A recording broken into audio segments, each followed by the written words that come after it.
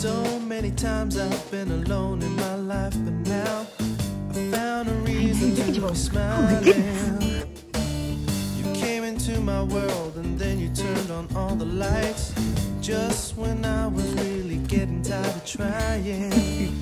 All the time I've been waiting for the summer sun to shine on me. And now you're here, I look up high and there's not a cloud in my blue sky.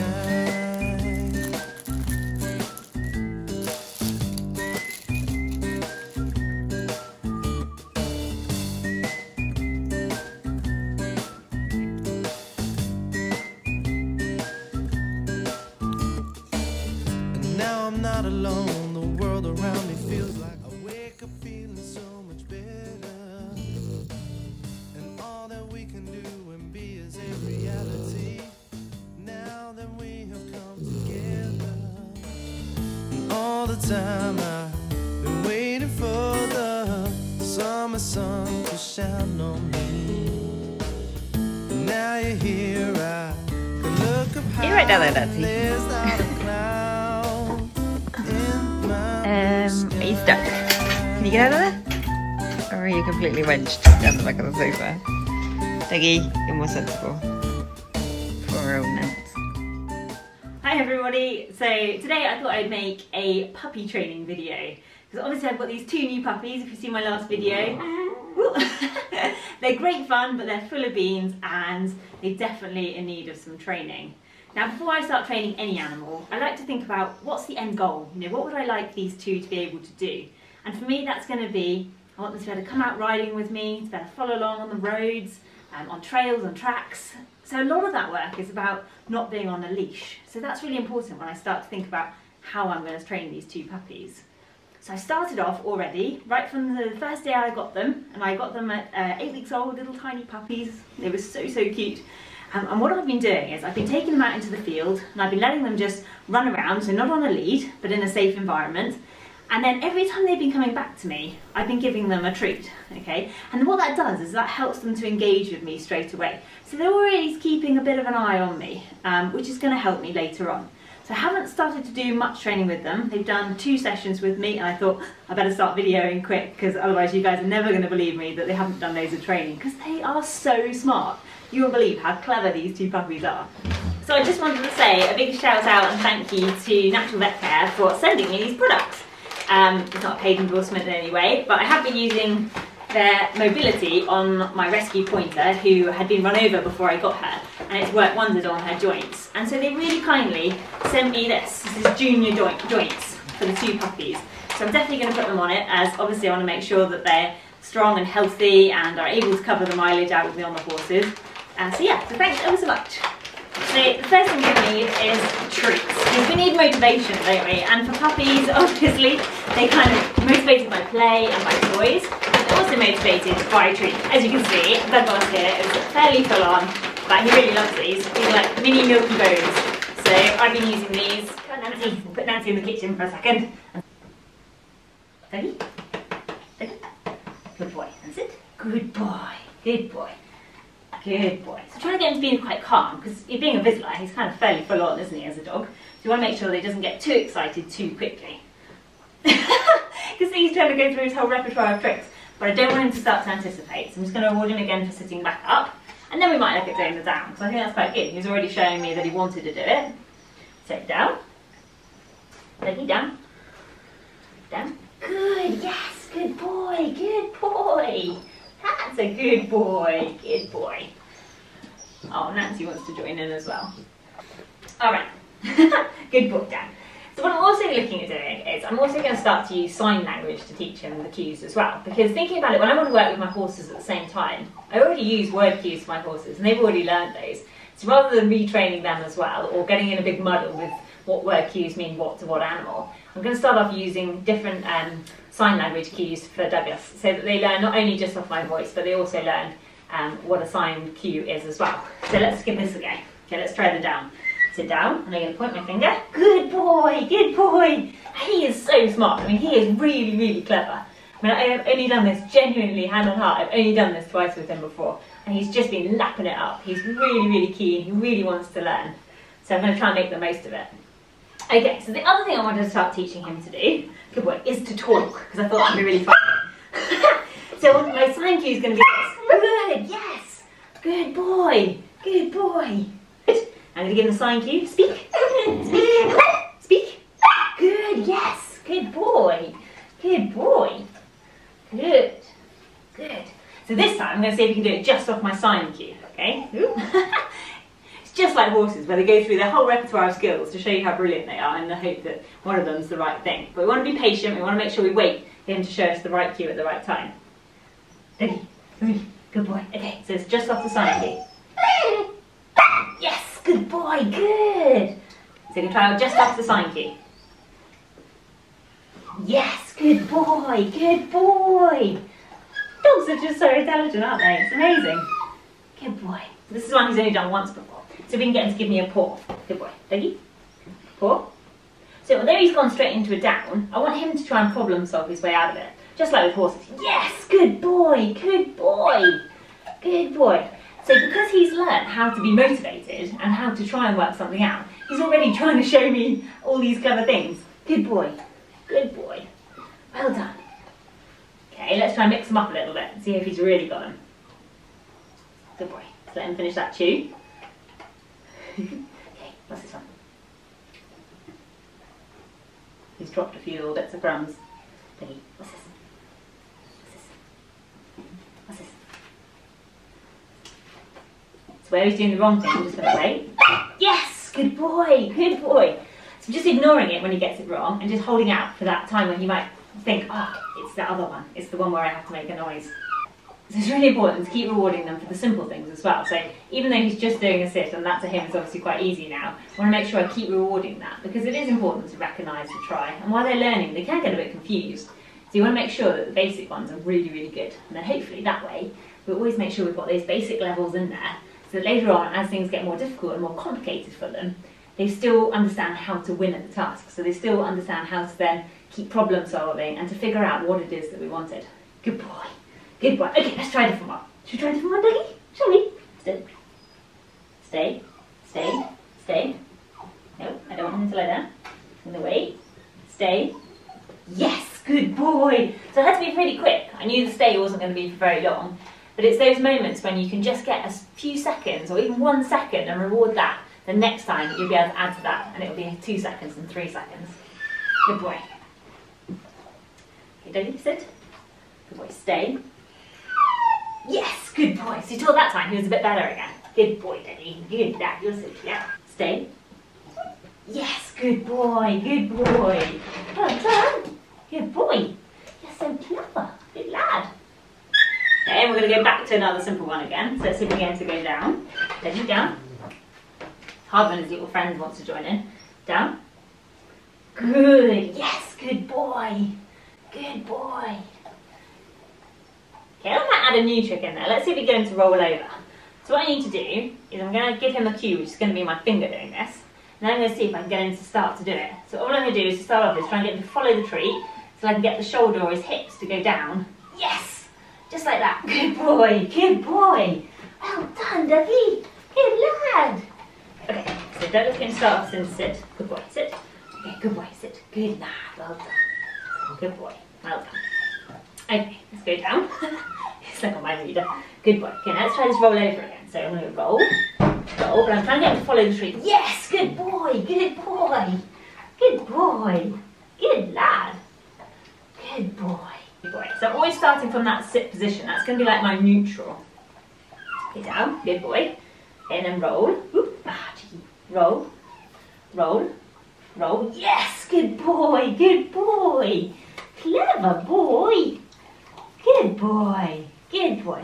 So I want to sound really pleased with my voice, but I don't want to make him overexcited. You know, Vizslas are full of beans, they're full of energy, and just like Dalmatians as well. So you want to be quite careful that you don't sort of like too much rough and tumble because I don't want him to go crazy about it. I want him to just enjoy his training and enjoy learning stuff, um, but keep quite calm as well.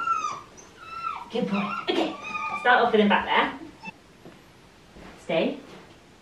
Hop, hop, hop, hop, hop. Good boy. Good boy. So there I kind of had to settle for the down. Um, I would have liked him to have stayed sitting, but I felt like I was just being a bit nitpicky and probably asking too much too soon. So I think it's okay to accept that for now. And then in time I'll be able to correct that and make sure I get the sit cue. Let's see if we can combine another one. So now he's up there, let's see if we can get him to speak. Ready? Speak. Speak. Speak. Yeah, speak. Yes, good boy. Can really see him looking at my hand going, I know what that means, I know what that means. Good boy. Okay, we'll try one more, and then I think Dougie's probably done enough. Good boy. Paw. Paw. Paw. Yes, good boy, yeah. Oh, you are so clever. You are so clever, aren't you? He is such a smart dog, such a clever boy. So we want to make sure we keep these training sessions really short. So he does lots of playing outside, and he runs around the fields lots, um, but then we just do sort of five or ten minutes at a time, bring him in, do a little bit on his own, and, um, and then hopefully he'll be able to do all these things out and about and in different environments. Good boy. Mwah, love you. Good boy. So now it's Nancy's turn, and she's a very different character to Douglas. She's a little bit more shy than Douglas, and um, I think being a lit from a big litter, I think that's made her a little bit more sort of standoffish.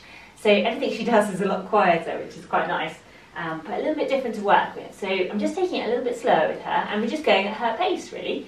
Um, I don't mind how quickly they learn things, it's just about getting there eventually, isn't it? So let's face it, we've got the next 12 to 14 years to get there, haven't we? So let's have a little play and see where, where she's at. Again, I've only done a couple of sessions with her already, and I thought I'd better start videoing. Okay, so she's already in a sit, which is lovely, so I'm going to give her a little reward for that. Good girl. Good girl. Good girl. Good girl. I'm going to do exactly the same thing, so to use those hand cues as well. Down, down, down. So there where she's sort of half tried, so that paw in that position, down. Yes, so I'm going to reward that. So even though she did go right down, I actually would have rewarded quite happily just for her putting that one paw out in front because that's kind of the step in the right direction that we're looking for. Good girl, well done. Oh, You are so clever. Oh, look, and there she's trying to show me that she could give me her paw as well. So let's put that one in there. Good. So I'm going to ask for it this time. Paw. Yes, well done. So I kind of just took a natural behaviour that she was trying to do then anyway. I'm just giving it a cue. Okay, let's try again. Paw. Paw. Yes. Oh, you're so clever. You're so clever. Good girl, Nancy. Okay, let's try another one. Let's try that other one again. Let's try down. Take a little bit of chewing these biscuits. Down. Well done. Good girl. You can see she does everything a little bit more dainty, a little bit more refined. Good girl. Well done. Oh, well, I'm going to show you that one. So when they show you something like that, you see how she's pouring at me? It would be quite easy for that to turn into something that we didn't want. And when I'm not asking for it, when it's a training session, I'm not asking for it. I'm just going to ignore it because I don't want to kind of put her off trying. She's only just trying to show me how she could do something in, in return for earning a treat. So I'm just going to wait, wait till she's quiet again. Then I'll give her something different to do. So let's go back to that down, down. So I didn't ask her for the paw then because she was trying to do it anyway. So I thought, oh, I'll just get her to think about something else so that it doesn't become something she just paws at me when she wants something. Yeah, okay, let's try a little roll over with you as well. So again, get the finger working. See if we can get her to do it. What I'm trying to do there. See, there, yes, good. Good girl. So all I did was just get her to follow that treat until she followed it into that lying down position. Good, good. And eventually she'll understand what rolling my finger means. Roll over. Good girl. Good girl. Let's get her back up. Sit. Nancy, sit. Nancy, sit. Yes, good girl. Good girl. Well done. Oh, I think she's pretty clever as well, isn't she? Sit. Good. Down. Down. Good. Good. Good. Okay. Roll over. Roll. Roll over. Roll over. And roll over. Roll over. Roll over. Yes. Good girl. Good girl. And this is the first time I've ever asked her to do this. She's not done this one before. Good girl. But I think when they have that motivation, and we have a good relationship already, I've just been letting her play, and they've been you know, cuddling me loads, and yeah, just being able to be themselves and let their characters evolve.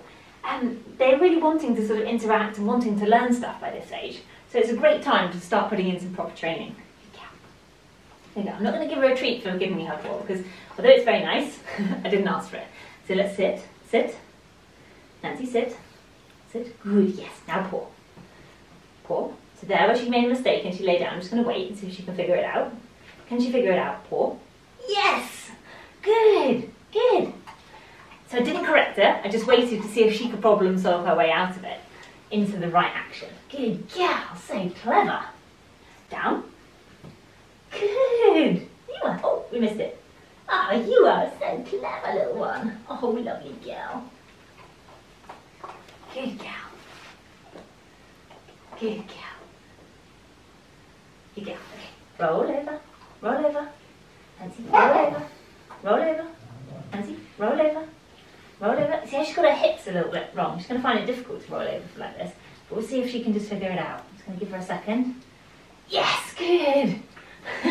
she's a pretty agile little puppy, so it's not surprising she can work it out, is it? Good gal. Good gal. Good gal. So I haven't put either of my puppies on a lead or anything yet. Everything's been free because when they're coming out with the horses, they obviously can't be on a lead. So I don't want them to learn lots of on the lead control stuff at the beginning. I want them to learn that their life is free, um, but becoming well trained and obedient is going to mean they're going to have so much more fun in their life. Because I definitely think well trained animals have the most fun. I mean, let's face it, if you don't have to be on a lead and your dog can just trot along behind you and come with you everywhere, that's just the best life for a dog, isn't it? Nancy, Nancy, can you speak? What's it? Can you speak? Can you speak? What's it? Can you speak? Can you speak? Can you speak? Can you speak? Can you speak, Nancy? Speak. Nancy, speak. Speak. What's it? What's it? What's it? Can you speak? Come on, you get excited. Can you speak? Good girl, can you speak? Good girl, can you speak? Can you? Yes, good girl, good girl. You really have to tune into these little tiny tries because those are what's going to keep her wanting to try. Good girl, good girl. So you can see how some tricks come more naturally to dogs than others, and it's exactly the same with horses, cats, whatever animal you're trying to train. You know, some of them find certain things a lot easier than others, and for Dougie, speaking was something he just picked up straight away, whereas for her, that's going to take a few more goes. It's quite nice when they don't get it straight away, because it gives you something to work on, doesn't it? Okay, let's try another one. Sit, sit, sit. Good, yes! So again, coming back to that easy trick that she knows. there she is trying to show me how to lie down already. Good girl. Okay, let's see if we can teach you to creep creep on the floor. So we're going to use a trick. Treat, creep, creep, creep. Kid, you're so smart. When you have a treat that they really like, you know, it's quite easy to keep them motivated and keep them trying. We just kind of want to go through these tricks quite quickly. You don't want to spend too long lingering on one, trying to perfect it. Because at this stage, I mean, they're only, they're 13 weeks old, so at this stage, nothing's going to be perfect, is it? It's just going to be a try and a bit of fun.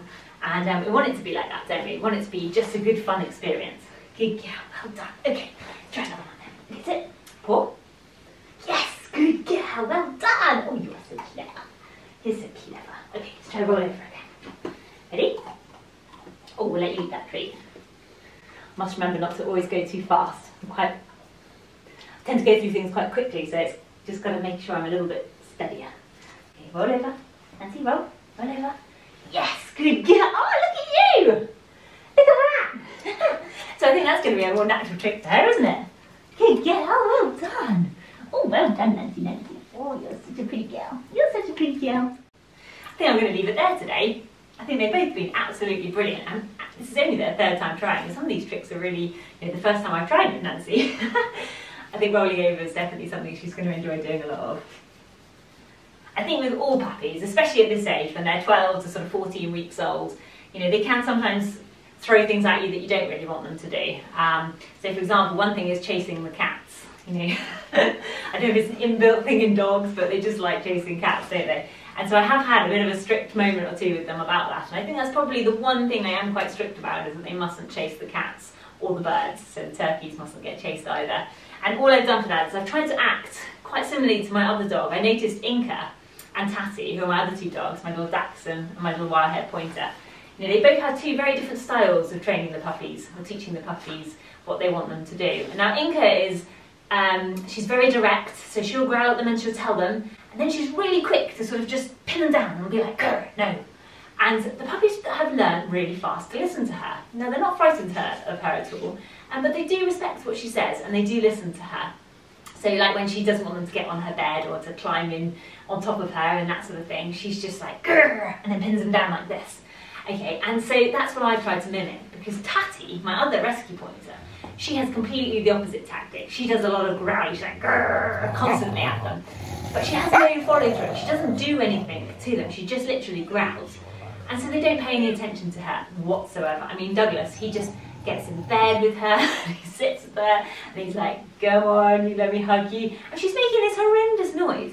But because she has no follow through, they don't have any respect or um, they don't listen to what she says. So it's quite important. I tried to sort of notice that.